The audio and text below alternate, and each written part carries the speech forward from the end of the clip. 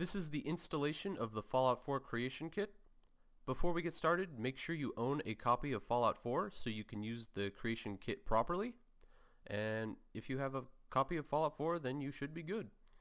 So, we want to go download the Creation Kit. So, locate your web browser and go to creationkit.com. That's the Wikipedia for the Creation Kit. And you'll see Skyrim is over here, or the Elder Scrolls. So you're going to want to click on the Fallout 4 one. It's on the right side.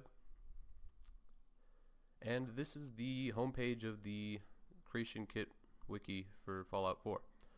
So, right here it says install the Creation Kit. In order to use the Creation Kit, we have to download the Bethesda.net launcher. So go ahead and click that and it will begin to download. The download should only take a few seconds, and once it's downloaded, it should be located in your downloads folder.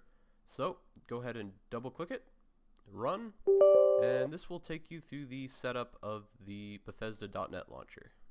So we have finished setting up the Bethesda.net launcher. You can go ahead and press finish and the Bethesda.net launcher should open. It may take a few minutes.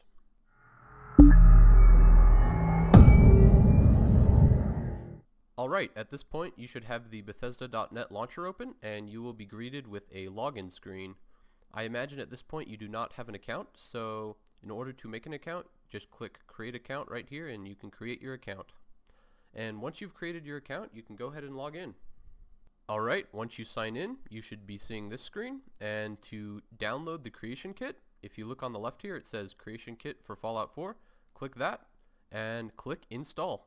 During the installation, it will ask you where you would like to install the Creation Kit, and it should automatically have it uh, installed to the Fallout 4 game folder.